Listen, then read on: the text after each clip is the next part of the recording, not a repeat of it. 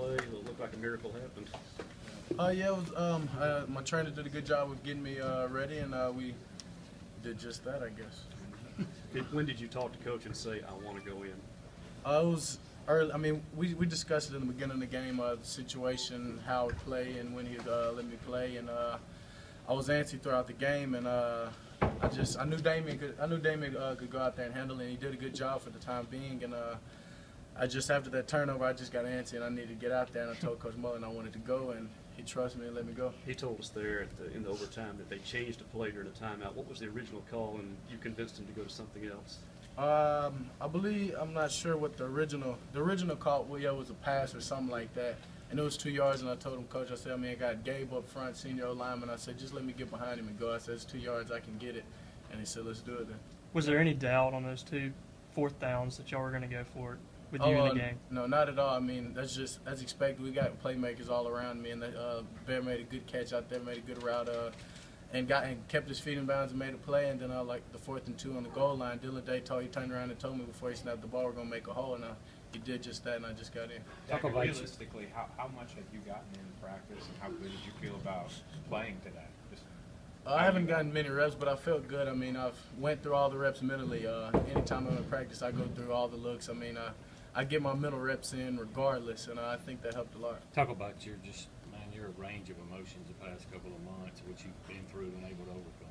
Uh, it's been a lot. It's been wild. It's been plenty, plenty downs and plenty ups. And uh, tonight's just, it was just amazing. Just the atmosphere to go out there when I walked on the Davis Wade and everybody, you know, what I'm saying, screamed. That was just, that was just amazing. Know, they had my back, and uh, for my team just to come through and keep fighting no matter what, and uh, to get this win tonight, it was great. You know, it, it is, as this goes down to folklore, what will probably be forgotten is that your first series back was a three and out.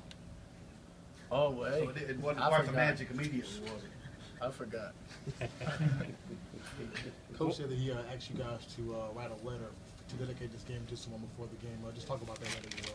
Oh yeah, he asked us to write a letter. He wanted this game to be personal. I mean, uh, I just I wrote it to my mom. I mean, my mom, uh, she she's just like me, and I and I wrote on the letter she hated Ole Miss just as much as I did. So I mean, uh, and her, and her favorite and her favorite time of football season was going to a bowl game. So it's no better no better feeling to be able to go bowling for her. Dak, what's it mean for this team with so many, and yourself, you're just a redshirt sophomore, for so many young guys to come out and make plays tonight and help these seniors go out and stop?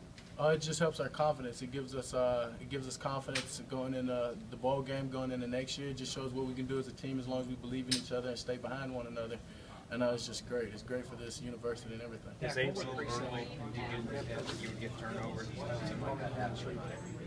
Uh, nah, he a good, he a good player. Um, I just think uh, we had a lot of good calls on defense. Coach got him, uh, got a lot of good plays. Um, when we watched him on film, we knew what they, what they like to do. So uh, we just made a lot of good calls.